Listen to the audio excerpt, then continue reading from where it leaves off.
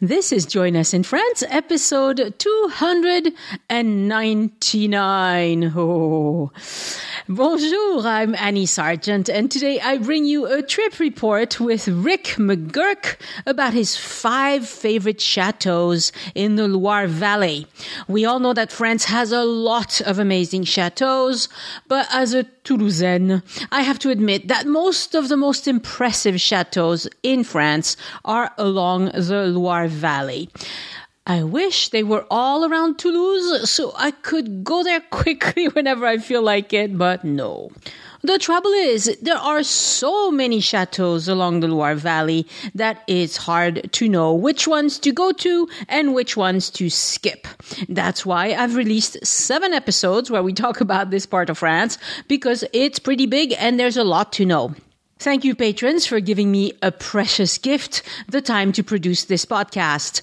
Your monthly gift makes it all possible, and in these times of uncertainty, I must, that's the least I can say, uh, and anxiety, I can't tell you how much it means to me. There will be a shout out to new patrons and more info on how to join all my wonderful patrons after the interview. Check out my audio self-guided tours on joinusinfrance.com forward slash audio tours. As I record this, I have four of them for Paris and I will release more as time goes by because I love the freedom and depth that these tours provide. Show notes for this episode are on joinusinfrance.com forward slash 299 where you can see a recap of what we have discussed. Follow Addicted to France on Instagram to see Rick's wonderful photos uh, of his favorite chateaus in the Loire Valley. They are absolutely stunning because Rick owns a great camera body, which we briefly discussed in the episode, and he has a keen eye for great photography. I'll post them this week on the Addicted to France Instagram account. Next week, I'll be sending out the newsletter with my recipe of ratatouille, complete with instructions, photos, and snide remarks. You're welcome. Also, I want to let you know that I'm trying a new email provider for the newsletter. So if you don't see it, search for it in your inbox. You're looking for an email sent by Annie at joinusinfrance.com. And if you open it and respond, the email gods will know that you want to hear from me and they will stop hiding it. I definitely do not want to email anyone who doesn't wish to hear from me. But if you do, let's make sure you get you get it. You get the the recipe when you want it.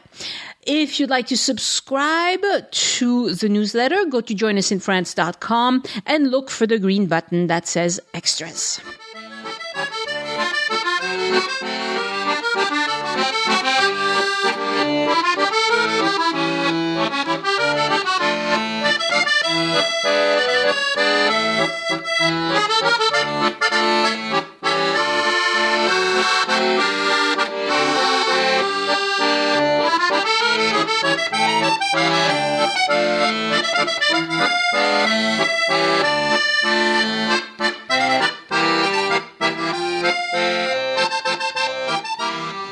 Bonjour, Rick, and welcome to Join Us in France. Bonjour, Annie. Thank you very much. It's a pleasure to be here. Oh, it's nice to have you. And today we're talking about your visit to the Loire Valley, and you saw a bunch of chateaus, including a couple I haven't been to. So that's very exciting. Oh, it was a great time. So, yeah. Tell us when your visit took place and who you were with. So we went in October 2019, and it was my wife and I. Well, we're both 54, and uh, it was our fifth time visiting France, but our first time in the Loire Valley. Oh, wow! That's that's a lot of visits to France. Do you have family here or something? No, no. Um, two of the times were actually to visit our sons who were doing study abroad programs in Paris, and so we. Uh, we encouraged them to do that to um, help them get their uh, kind of a dual major in college with French and, and bio and but it was it had the added benefit of giving us the uh, you know kind of the excuse to visit Paris again. Sure, and so this time also you spent a, a little bit of time in Paris, but we're gonna skip over that. Uh, was there anything outstanding that you want to tell us about in Paris? No, I mean Paris is wonderful. We've we've done it every time we've been to France, and uh, we spent five nights there. But um, you what? know, we did the sta- we did the standard stuff. Frankly, what's your what's your favorite neighborhood to stay in in Paris? The sixth, without a doubt. Uh-huh. We love um, we love Luxembourg Gardens. We love the the neighborhood around there. Yeah. And there's plenty of cafes and things to do, and it's very centrally located because we like to walk. Cool, excellent. All right. So, how did you get to the Loire Valley? So we took an Uber from our hotel to Montparnasse train station, and then took the TGV to Tours. Actually, um, the, the Gare de Saint Pierre de Corps, which is I think one stop short of Tours, because that's where the uh, the Hertz rental car place was. Ah. And so we took the train to Tours. Very easy, even for the two of us who speak very little French. I mean, beyond bonjour and uh, au revoir and you know, carafe d'eau, we we are. Uh, we're we're English through and through. Uh-huh. Um, but uh, you know the train station is easy to navigate, and the trains are fast and comfortable. And, and you know if you've taken a train anywhere, it's the same. Yeah. Very easy. Yep. Um, so we get we get to tour, rented a car at Hertz, and uh, again an, an easy process. The car was there. We just kind of picked it up, got in, and off we went. Yeah. So did you um, had you ordered a car in advance? Abs- absolutely. You don't, you know, I, I would never not do that. And, yeah. and this time, as opposed to other times when we rented cars in Europe, we reserved an automatic as opposed to a standard. Ah, yes. Which which allowed my wife to drive as well. And in fact, she did uh, all of the driving this time because I, I had done all of the driving when we drove around Tuscany because we had a, a standard. ah, yes. Yes. Very good. Okay. So um, you got your car and you went to where? so the first uh, the first area we went to we we t- we drove from Tours to Chateau Villandry, and that was about a thirty minute trip. And you're going to hear that over and over again here. Everything in the Loire Valley is pretty close together. Mm-hmm. So you know, 30, 45 minutes at most driving time. Um, and and you know, and a comment about that, it's not just the destination. The journey is really cool too. Right? Yeah. You, you, drive through these these quaint little villages and and you know scenic countryside and and um, you know important to you know not necessarily stop and smell the roses, but at least keep your eyes open and and you know look out look out the window as you go from place to place. Yeah. And so, um, where did you stay? Did you did you book a hotel in Tours? No, no. We stayed in two different places. We stayed in Chinon for two nights, and we stayed in Amboise for two nights. Ah, okay. Um, just as between the two, we liked Amboise better than Chinon. Mm. Chinon was a little bit smaller, and um, quite honestly, it just seemed older and a little bit more run down is not the right word, but just um, just smaller and, and, less of it, less to do available there. Okay, frankly. okay, okay. Um, but uh, I'll, I'll, get to that. The okay. hotels we stayed in because both of them were really, really, okay. um, you know, I would recommend them. Yep. Um, so the first place we went to, as I said, was Villandry, and uh, it is beautiful. You know, the the chateau itself is um, very, you know, uh, kind of as and as the first one, you know, it was kind of really cool to to tour a chateau. Mm-hmm. But the real the real highlight of the trip are the grounds the formal gardens are just spectacular. They, yeah. you know, they're they're manicured. They're, um, you know, there's we were there in, in, October, and so it was the fall. But even then, you know, the flowers were in bloom. Uh, the fruit trees were, you know, full of like the pear trees were full of pears and mm-hmm. um, just really, really very pretty grounds. Yeah, and it's a beautiful Both, French garden style. Yes, and, and not just, and, and in addition to just those formal gardens, kind of behind those gardens, there are additional, you know, walking paths and with some, you know, kind of quirky sculptures back there and, and grape arbors. And it's just a really nice, a nice set of grounds. And so mm-hmm. I, I, definitely, you know, plan time if you go there to, to uh, explore the grounds in, in addition to just the chateau, because that was really, right, really very nice. Right. But it also depends on what time of year you go obviously the chateau is i assume the chateau is open year round although maybe i shouldn't say that because but uh, if it's open year round you know it's not going to be the same in january and february oh absolutely and and you know a comment on that generally i mean i think that being there in october certainly trimmed down the crowds we were not there in high tourist season and so you know Villandry in particular was virtually empty. Mm. Uh, we had we had the place just about to ourselves, wow. and you know I could I could take pictures of the grounds, and the only people who were in the pictures were the workers. Yeah. so uh, it was, uh, and, and, there are a ton of them. I mean, they are constantly working on you know on the the hedges and sculpting the plants and, and all of that. So it's really a, a, a beautiful set of grounds. So is Villandry a, a furnished chateau?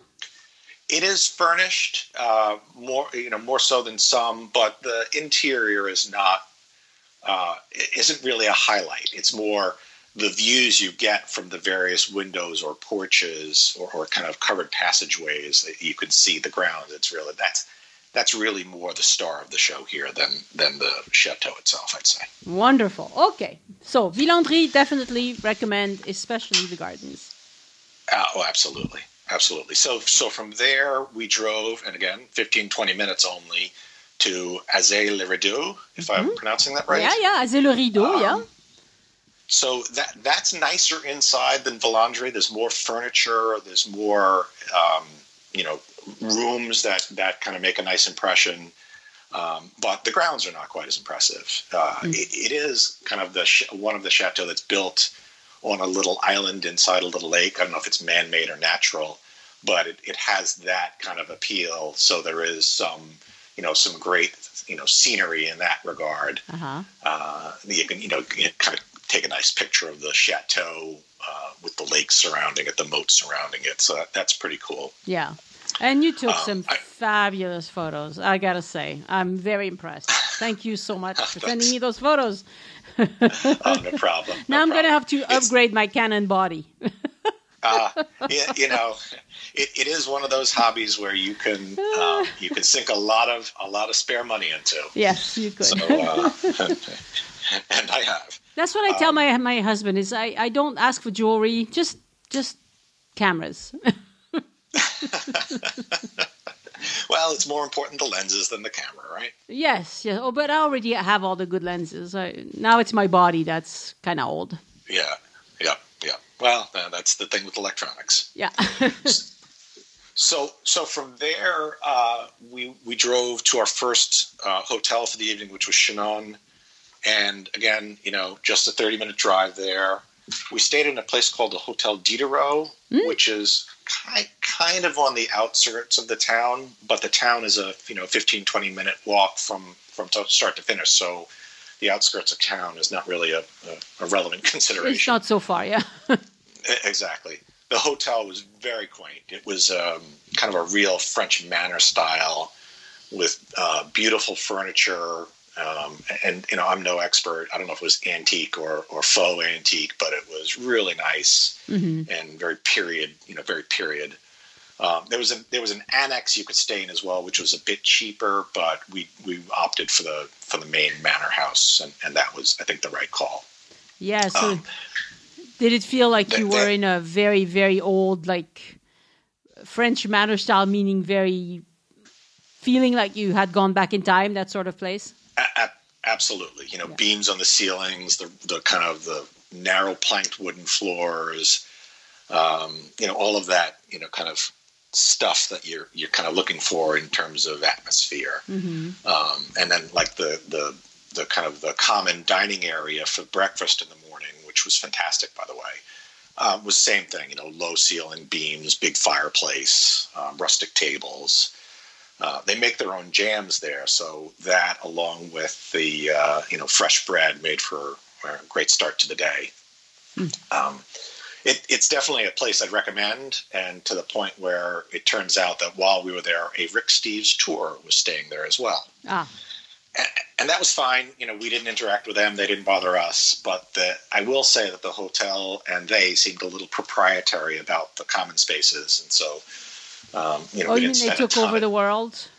Uh, a little bit, yeah, yeah. yeah I, I, which I guess I shouldn't be surprised at. I mean, I'm a, I'm a fan, but uh, you know, yeah, they, they, they were a little proprietary about this. Yeah, was it a big um, group? There were probably about twenty people or so. Yeah. Um, so they, you know, they had themselves a, you know, kind of a van and, and a tour guide and, and, you know, all of the trappings of a, of a tour. Yeah which which frankly I don't I don't really think you need to do Beauvoir Valley. I think you know a, a, little bit of research and and you know, kind of listening to podcast episodes like yours will you know will get you ninety nine percent of the way there. Yeah. Um, and and most of the chateau that you go to have a bit of historical, you know, signage around to give you a sense of of what's going on there. Right. Um, so as I mentioned, the town of Chinon was was quite small. And um, on the first day there, we, we made a critical uh, feeding error. I need to, you know, I like my meals regular and often. Um, and we kind of missed lunch. And so we got to the hotel around 2.30 or so and figured we'd just find something in town just to snack on between, you know, then and dinner. And the place was closed. Mm. The entire town was dead. Yeah. And I don't know if that's the time of year we were there or that's just French countryside living.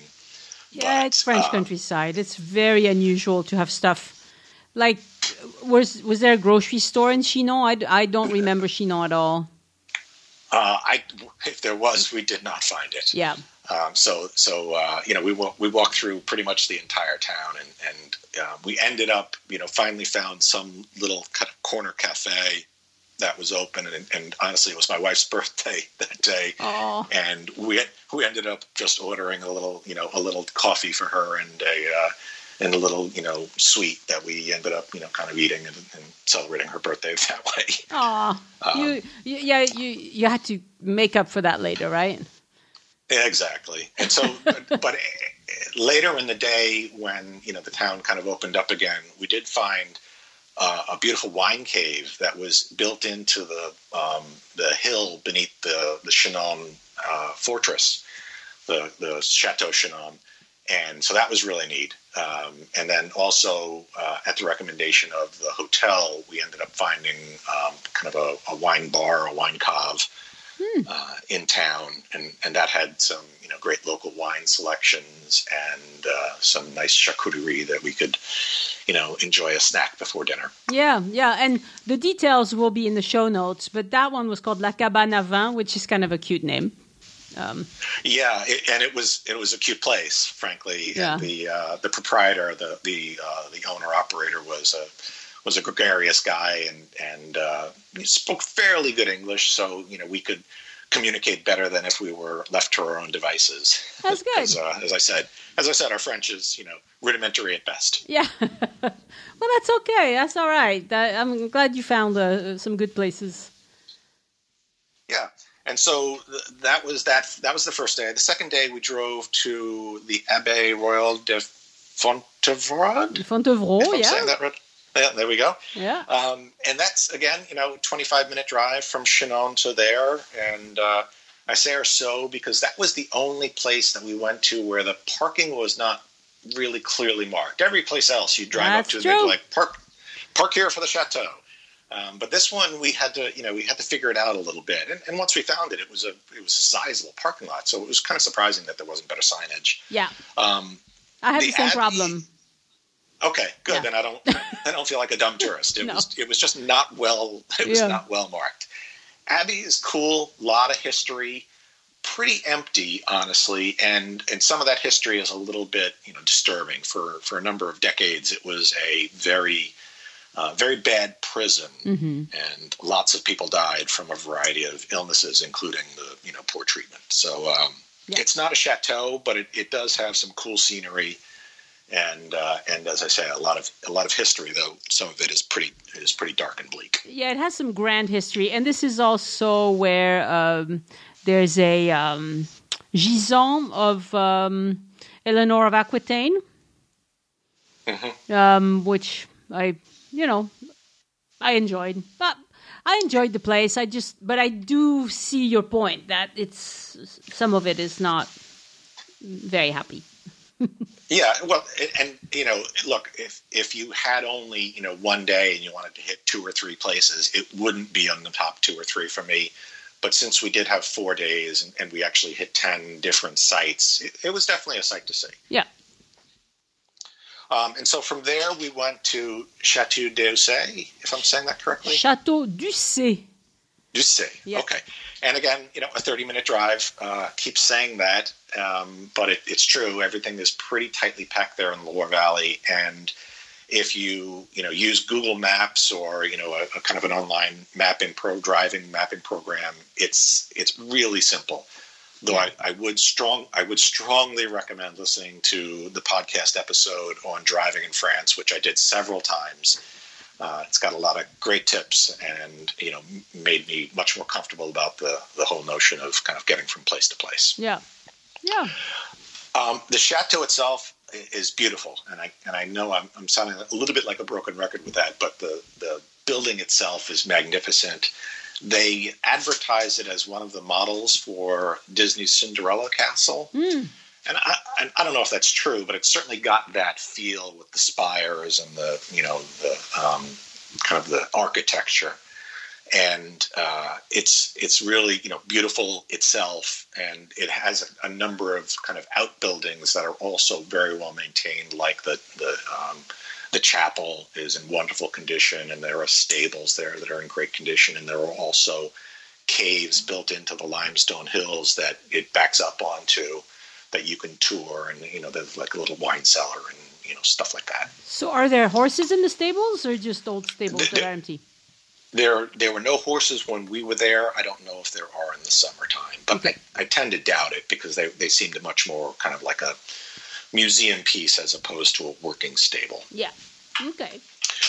Um, from there, we had lunch right across the street, and uh, you know the place, um, and it'll be in the show notes. Was Cafe Deschamins Eric nothing fancy, you know, just a plain plain lunch. It gets dinged a little bit uh, from what I've seen in reviews, but frankly, it's got a great view of the chateau. And you know, what are you expecting from a place literally across the street from a tourist attraction? Right. um, you know, if you're just looking to have a bite to eat and have a great view, it, it's perfect. And um, the weather that day was a little bit bleak. And honestly, it, it was perfect for us because it had a covered patio when the thunderstorm started. Ah, so yes, yes.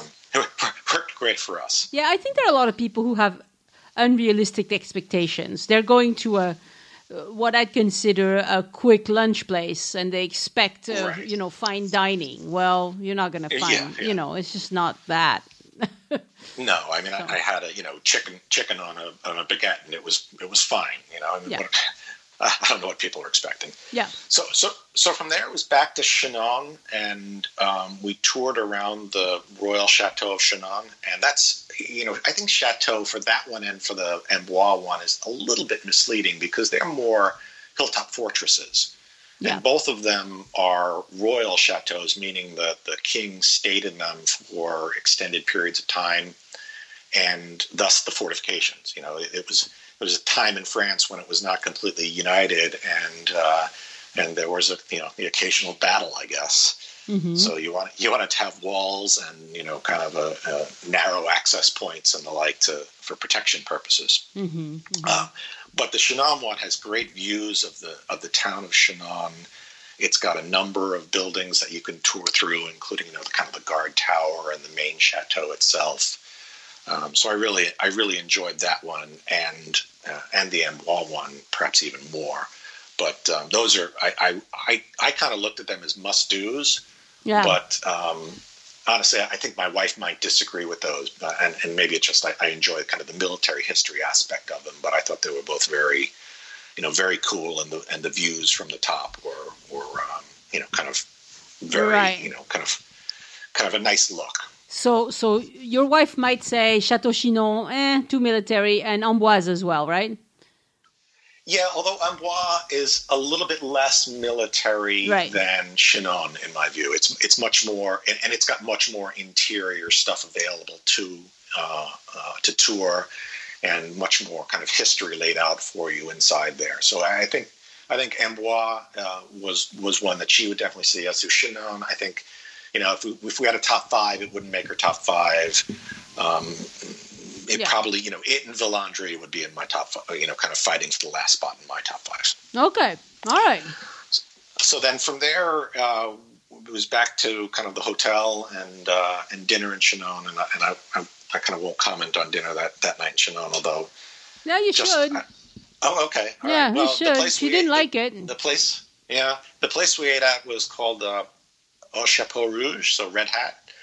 Um, and it gets you know great reviews on all of the sites. And we made a reservation, and we showed up at the time for our reservation, and uh, it was one of the worst eating experiences I've had in five trips to France, and, Mm. and that includes you know you know times when we had our kids and they were a little bit younger and a little bit less you know kind of well behaved than they were when they were older.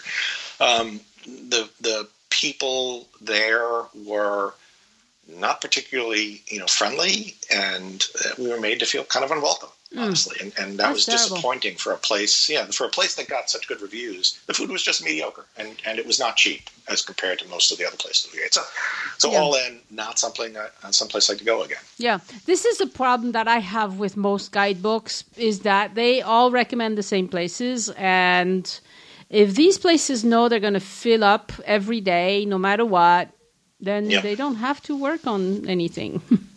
so and, that and that's exactly and that's exactly the attitude we had. It was you know it wasn't just you know in you know i, I find and you, you've said it multiple times on podcasts which i've listened to all of them by the way wow. um, that it, it you know french waiters will generally leave you alone yeah, to just do what you do. Um, and that's not a that's not a sign of discourtesy or disrespect. It's just kind of the way it is and the way people want it to be but that wasn't that wasn't it i mean it was affirmative like you know being treated poorly and i just i just didn't understand it because we're not you know we're not aggressive or demanding or you know yeah. It could have been bad- simply bad that the boss was being a pain that day, or somebody was having a good bad Yeah. day, or something. But yeah, who knows yeah. Um, okay, so that was the second night, and then I just did want to comment before I leave Chinon that the next day, which I think was a Thursday, that it was market day, and so the town, you know, square area had a nice little market that we toured, and you know, friendly people. Some of whom, frankly, I think were speaking Polish as opposed to French. No, Um, but uh, but you know, uh, produce and bread and, and you know clothing and, and just all, all stuff at the market that was you know was fun to tour. cool. Um, How big so of a from- city is Chinon? It's not big. As I said, I think you could walk across the entire thing in about 15 minutes. Okay, Um, so maybe do have long five thousand legs, but, people, you know, maybe. maybe. Yeah. Yeah. Yeah. Maybe. And and uh, um, not the very few kind of multiple people dwellings. I mean, it's it's mainly houses and and you know stuff like that. Yeah, Um, I have been, but it's been so long I don't remember that one.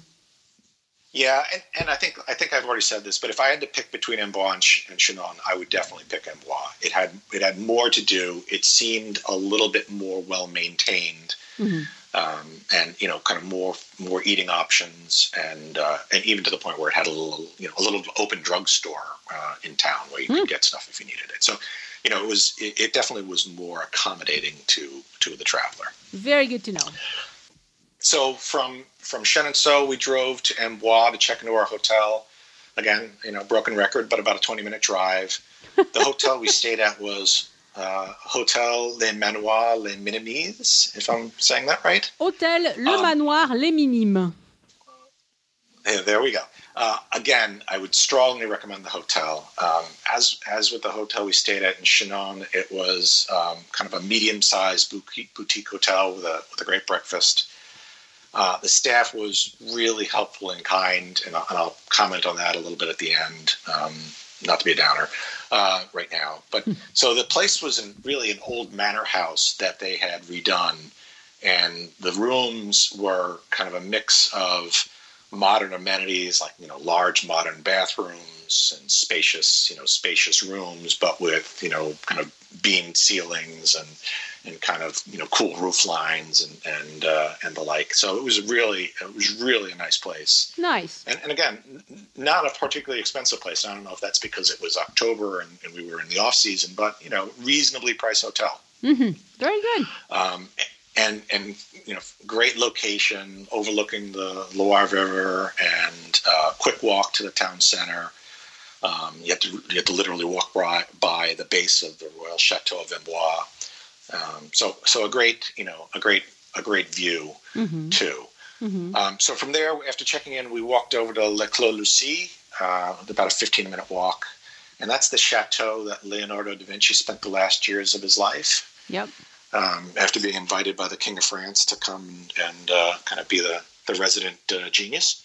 Yeah. Um, it it's not as large a chateau as many of the others, True. um, and that just means it's not kind of massive, but uh, it has expansive grounds.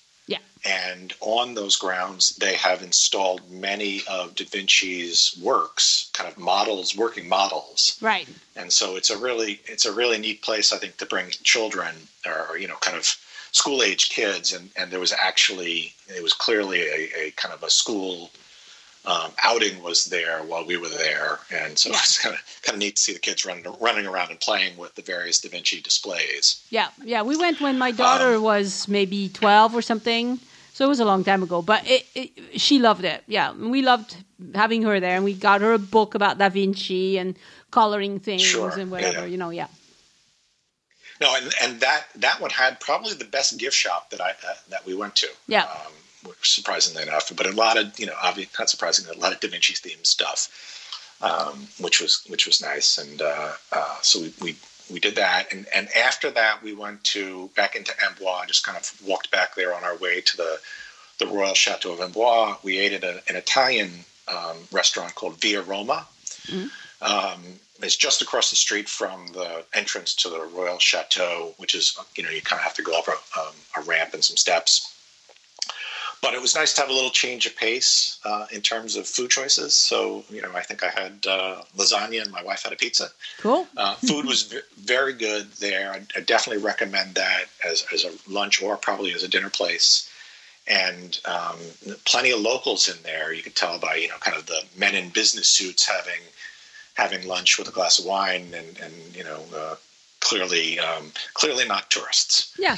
So I and I and, and I typically take that as a good sign of a you know a good place to eat. Of course. Of course. Yeah.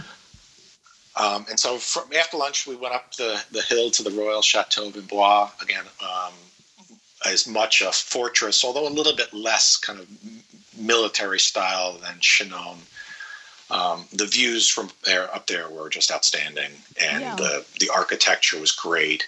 There was more to see and do on the inside. It was it was more well preserved and accessible than the Chinon one was. Mm-hmm. So that was um, you know that was a great uh, that was a great tour, and I'd, I'd strongly recommend that one because you get you get kind of the great views and the um, kind of the cool chateau, and there's there's decent enough grounds with kind of a wine, you know, the, with a vineyard in the background, and uh, Yeah. it's it's not it's not particularly large because it, it's um, you know kind of limited by its hilltop location, but de- well worth kind of doing, and especially you know kind of it's the thing you do maybe before dinner if you're staying in Amboise, Yeah. Yeah. um, kind of like kind of like we did. One of the photos you sent me that is just outstanding is this gargoyle. Uh, it's a black and white photo with uh, with uh, just the teeth on the gargoyle and the and a beautiful dramatic sky. I love it. I love it. So Yeah. uh, I- to to and so see I will I will tell you, my, Yeah. my wife and I, I reviewed the photos that I was going to submit my, with my wife, and she's like, "Why do you want to put that in? That's that's just a gargoyle." I'm Oh, I love "It's it." Cool. it's a cool photo, yeah.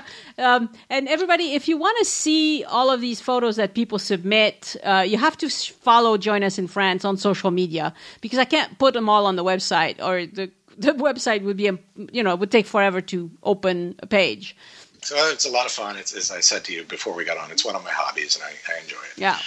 Um, so then uh, dinner that night, um, and both nights in Amboise, we had we had made reservations at you know kind of recommended places, and uh, we skipped them both and ended up eating at a at a bistro called Chez Bruno, and. Um, uh, I can't say enough good things. Obviously, we went back there twice, and that was Oh, wow. over kind of a Michelin starred restaurant. Uh, I think it was called Chateau de Pray that has a great reputation, but you know, was something we would have to drive to, and and you know, I took to heart kind of the comments on your uh, your driving episode that uh, driving after having had a couple of glasses of wine is a is an absolute No, you know no. thing to avoid. Yeah.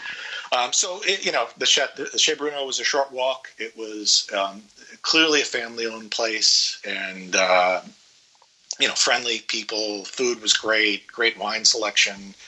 Um, you know, atmosphere was was super. Uh, and just everything about it was great, and uh, that's obviously why we went back again the second night. Um, but definitely make reservations because uh, the first night we lucked out. We didn't have reservations, but we got there literally when it opened, and we were able to get a, a table. Um, but it filled up immediately. Okay. And the second night we, we did have reservations, but again it was it was packed to the gills. That's So- that's so- that's also a very good sign. Yeah, no, it was it was great. Food was great. Everything was. And you know, if on. you see a restaurant that's called La Table de blah blah blah, usually these are really good. I don't know why, but people who call their restaurant La Table de whatever, whoever, they just put a lot of heart into their into their restaurants. And it might be a little different than what you normally see in France, but they're usually very good. So, Yeah, no, I, I had the special both nights, um, and it was different, you know, different things, and not, you know, kind of not normal like coq au vin or you know something, you know, kind of classic that you you'd think of if you go to a French restaurant. But it was just, you know, food was fantastic. Yeah. It was well done. It was, you know, prepared just really well. great. Um, okay, so that was that was our, our, our first and second night's dinner in, in Amboise. But let me you know kind of get back to uh, the chateau. Um, the next morning we went to Cheverny, and uh, that was probably our longest drive. It was about forty five minutes. Uh huh. But again, you know the the drive um, from point A to point B is just um, it's part of the experience. It's, you know you pass through, and I think uh, you and Elise did a kind of a driving tour of Loire Yeah, it's pretty. and and it, right it's pretty. I mean these towns are all just incredibly pretty and quaint. And and honestly the, the time of year we were there they were a little slower.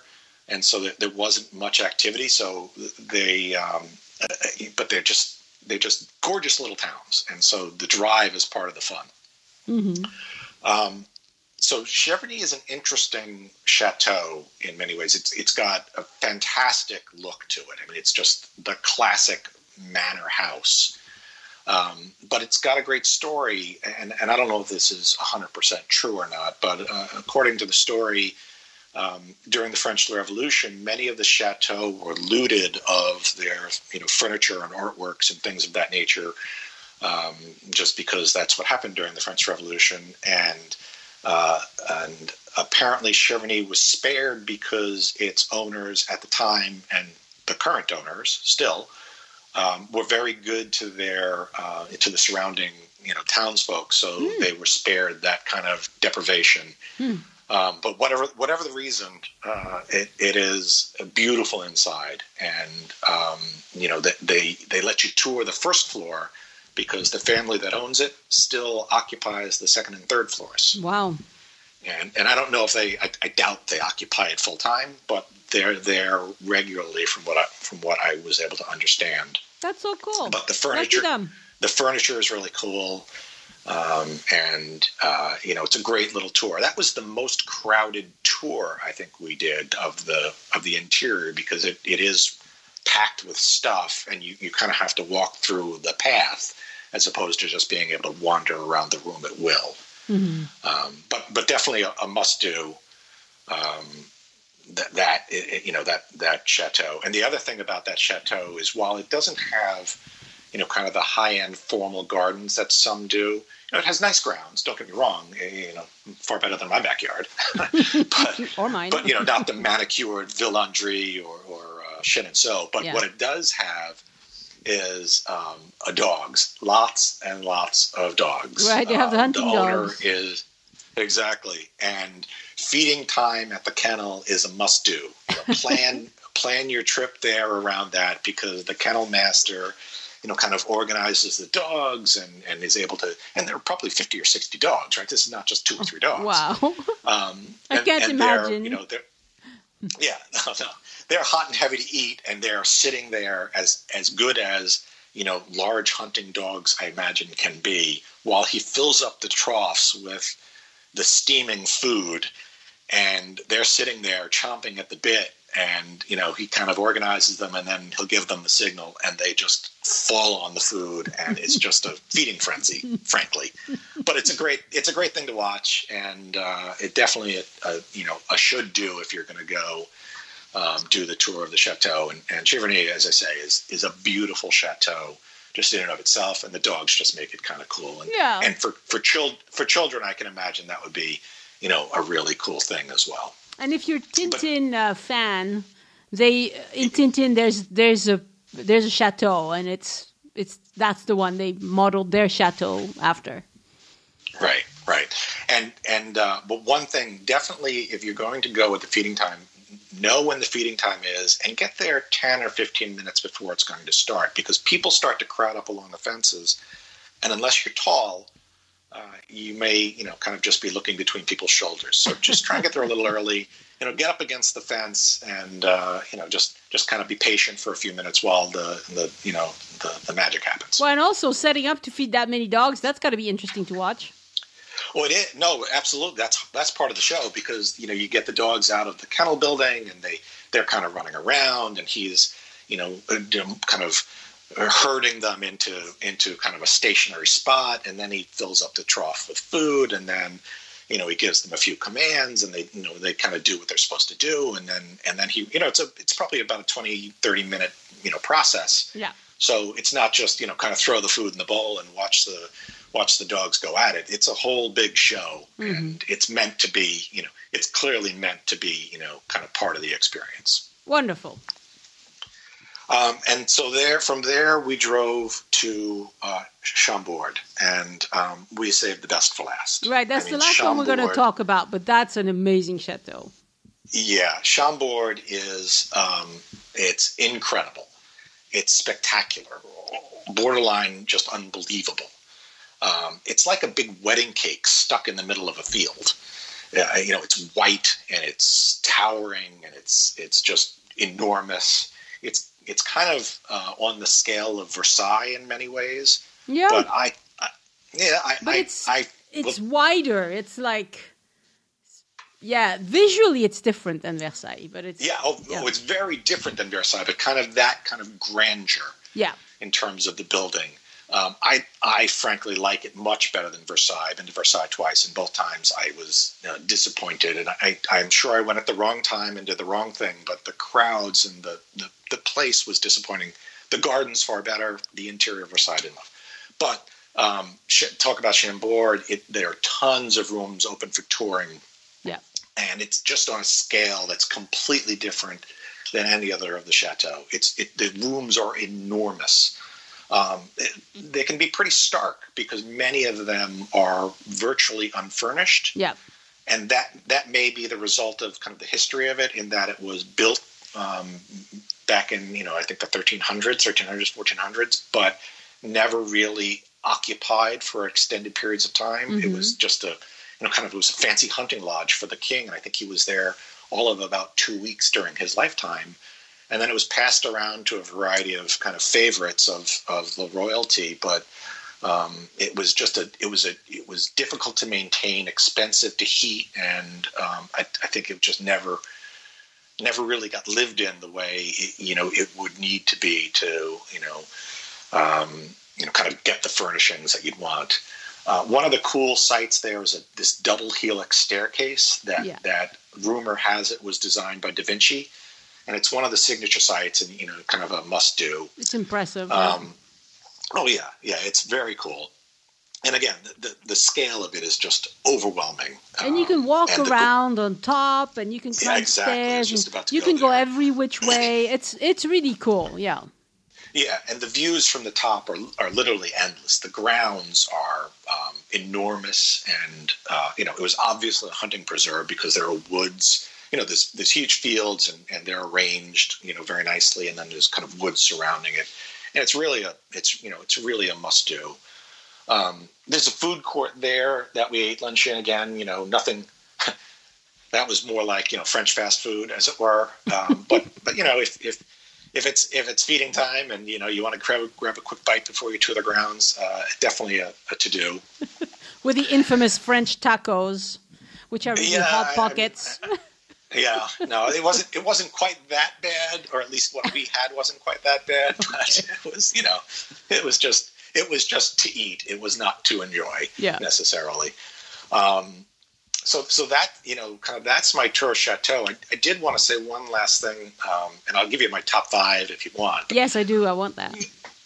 Um, so, uh, if I had to run the top five, it would be Chambord, Cheverny, Chenonceau, Amboise, and Villandry I debated between Villandry and Chinon, but I guess Villandry got the got the nod in the fifth spot because of the uh, just the incredible gardens, which I can imagine in spring and early summer are just. I mean, they were they were magnificent when we were there in early fall, but in in the spring and summer, I can imagine they just really just to die for. See, you're making everybody's life easy. You're telling them exactly where they need to go. How many days would you say is ideal to spend in the Loire Valley?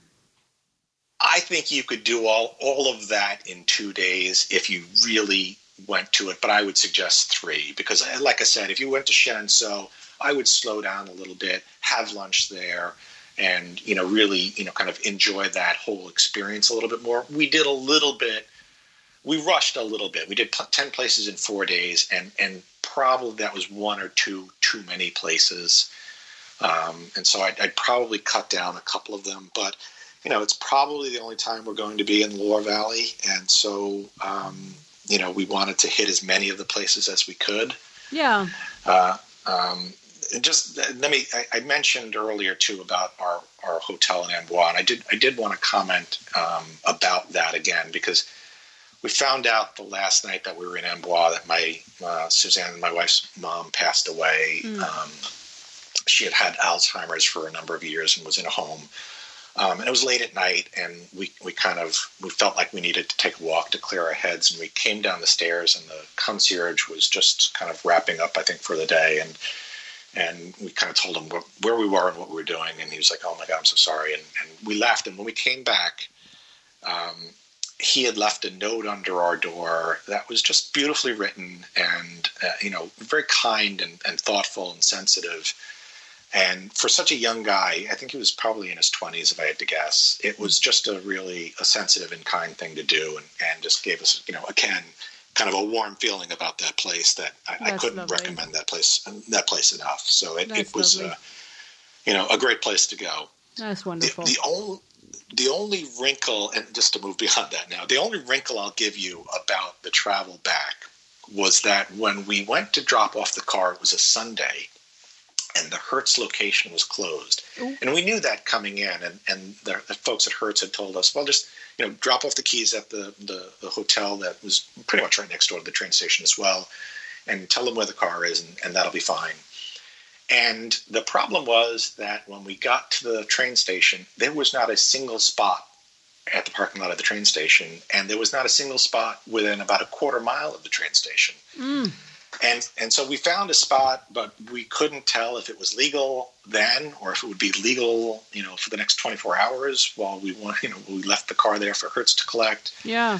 Um, and so we drove around a little bit more, and and then a train pulled in, and you know, people got off the train, got in their cars, and left, and a few spots opened up. So I guess that's my only comment is if you get to a spot and and there's no there at the train station and no, there are no spots wait until the train arrives and some spots will probably open up. Yeah. But that you know that kind of made us a little bit nervous. Because yeah, it would we were, be. Yeah, we were plenty bad. of time time for a train. We were just concerned about you know kind of the parking issue. But mm-hmm. um, it worked mm-hmm. out, and and the train the travel back to Paris was you know quick and easy and and just fantastic. Although you know.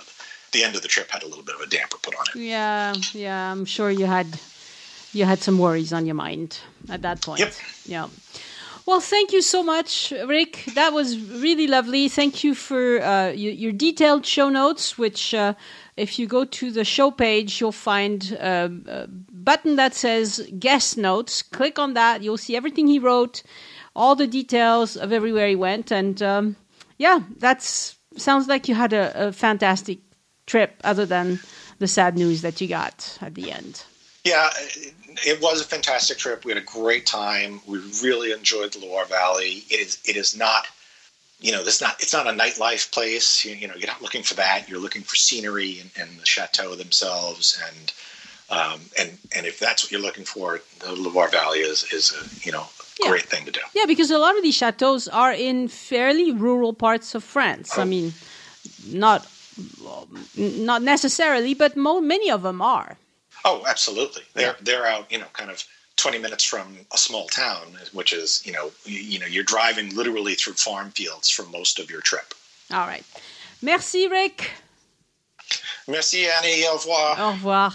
Again, I want to thank my patrons for supporting the show and giving back. Patrons get several exclusive rewards for doing so. You can see them at patreon.com forward slash join us. That's P A T R E O N, join us. No spaces or dashes. Thank you, all of you who support the show. Some of you have been doing it for many years and you are fantastic. And a shout out this week to new patrons, Jenny Burnell, Brooklyn Copeland, and Sydney Lambert. Thank you so much for becoming patrons and making this podcast possible. I released a new Patreon reward this week where Elise and I chat about what it's like vacationing in France under COVID-19. These are strange times we are living living in, but we're adjusting and we talk about the mechanics kind of of all of that. I'm still working on a series of tips for driving in France for patrons. Next up, the difficult roundabouts with strange markings on them and some of them with lights and stuff like that. I will explain. Another way to support this podcast is to hire me to be your itinerary consultant. And I know maybe you're not quite ready to come, but soon it'll happen. That will only cost you 50 bucks, but you get a custom itinerary that will fit your needs and will save you a lot of time. Plus, you get the input of an actual local. So how about that? Email Annie at joinusinfrance.com to set that up and write itinerary review in the subject line. And if you'd like to support the show without spending a penny you wouldn't have otherwise, before you go shopping on Amazon, go to the bottom of any page on joinusinfrance.com and click on the Amazon ad. Because you went to Amazon through my site, it will give me a small little bit of that purchase price. It's commission and it doesn't cost you a penny more. So whether you pay the commission or not, you pay the same. And uh, quite a few people are remembering to do that. It's enough to cover the costs of uh, running this podcast, which I appreciate very much. For my personal update this week, I have been writing a lot but alas, I'm not ready to uh, talk very much more about that yet, so you'll have to wait. But seriously, you know, uh, five hours of writing these days every day. So I wake up early, I walk the dogs, I water the plants because it's super hot still. I mean, it's late August, you know. Uh, I do a bit of shopping sometimes. Well, not shopping. I mean, like I pick up at the grocery store. Sometimes I'm cleaning because, you know, I have dogs. It gets messy. Uh, then I write, I write, I write. And it's fun. Honestly, it is fun. Um, this week, I also listened to a, a, really nice book while I was walking the dogs, Treasure Island by Robert Louis Stevenson. It was done by a group of English actors with sound effects and everything. It was really, it's a great story. It was told well. It was wonderful. I love classics. I mean, honestly, that's me. Um, next week, I'll start on Don Quixote. Don Quixote again. I've listened to it once or twice, but it's a big book. I, I need to listen again. And this time I'll follow along with my Kindle. Uh, because sometimes, since English is, is not my native tongue, sometimes I need to see the words as well as hear them. And I've got a lot of new merchandise on the website that looks pretty great if you ask me. You should check it out. Uh, link to it on joinusinfrance.com forward slash merch. You'll find mugs, scarves, masks. Boo. uh, but I do wear them. Uh, clocks, t shirts, hoodies, a couple of puzzles made from my own photos, an apron. Anyway, there's a lot of stuff that I think fans will enjoy. Uh, notebooks, uh, you know, next time you come to France, you'll need a notebook, right? Uh, I'll be adding some funny stuff in French in there soon, too. Swiffer, the dog that I told you about in the last two episodes, he's back to his original family for the time being because my friend, who is hanging in and doing okay uh, with her chemotherapy, all things considered, she got some more help. So that's wonderful. But he may come back in early September when her kids go back to college. We'll see how things develop. Uh, I've decided that I can walk three dogs. I still can't pet three dogs at once because I don't have a third arm, but maybe I can rub one with a foot or something. Those of you that have more than one dog, have you noticed how as soon as you pet one dog, the other one comes running? Well, that's how it works at my house as well. and brushing is also such a joy. The Labradoodle OP loves to be brushed and runs over as soon as she sees me picking up the box with the brushing stuff. The miniature poodle Gus, he hates to be brushed. He has issues, that one. But I need to brush him because he's a poodle. You gotta brush poodles.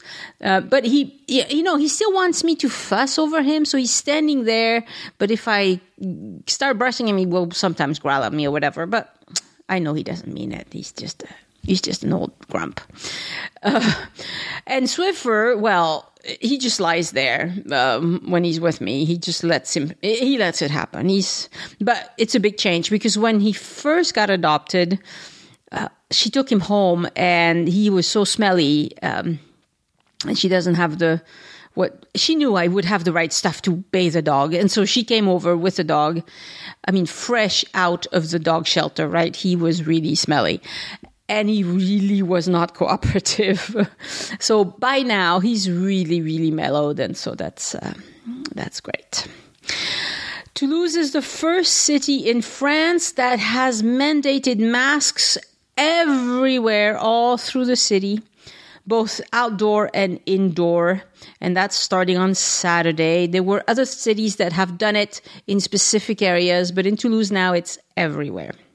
We're having a predictable uptick in cases because a lot of people went on vacation and they they mixed with friends and family and a lot of them came home and they don't feel sick. You know, younger people, a lot of them don't even feel sick. It's terrible.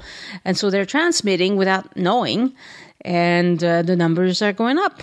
Um, so masks are going to be mandated at private businesses as well, starting in September, anywhere there are cubicles and shared workspaces. So by the beginning of September, almost everybody in France will be wearing a mask all the time, unless they're home and working from home. Thank goodness for me. I'm very lucky that way. Uh, but hopefully that means that by late September, we'll see the numbers go down again. Now, it's not like it's horrible, the numbers, but it's, it's not good. You don't want to go up. You want to go down. Uh, I've been invited to a family birthday party, and I think I will skip it because we've I, we've been super careful this whole time, not going anywhere, and it's really tough not going anywhere the whole summer. I'm really dying to, but I don't I don't want to blow it, so I'm not going to that birthday party. Uh, we'll party like it's 1999 once there's a vaccine. Um, my daughter is still working till the end of the month, but but then she the next day she starts uh, on college uh, for her second year of master's degree. I have to hand it to her. She's she's really a very hardworking kid. I think college will be in person, but with masks. So that, you know, that sounded really okay to me back in June or July when the num- the numbers were much lower than they are now. I'm not sure. I'm not so sure it's a good idea right now, but so far that's what we know but she has her own studio and so she'll move back to her studio when she's going to school we won't see as much of her but we'll all be safe and uh, we'll see her sometimes uh, properly distanced whatever I hope you're staying safe as well. Try not to get too discouraged. I know it's really hard. Uh, I feel it too, but this too shall pass. If you enjoy the show, introduce a friend to the podcast and show them how to listen. Next week on the podcast, it'll be episode 300 with Elise, of course. And uh, it'll be, so we'll celebrate our, our uh, 300th episode. And we'll also talk about Castelnaudary, a place that I'm sure you have never heard of, but it's still really interesting. Well, maybe if you like cassoulet, you've heard of it. Hmm? How about that for a hint? anyway, that's what we'll talk about next week. Send questions or comments or feedback to Annie at joinusinfrance.com. Thank you so much for listening. I know that there are a lot of podcasts out there and I appreciate you uh, listening to this one. Have a great week. Stay safe and I'll talk to you next Sunday. Au revoir. The Join Us in France Travel Podcast is written and produced by Annie Sargent and copyright 2020 by Addicted to France. It is released under a Creative Commons Attribution Non-Commercial No Derivatives license.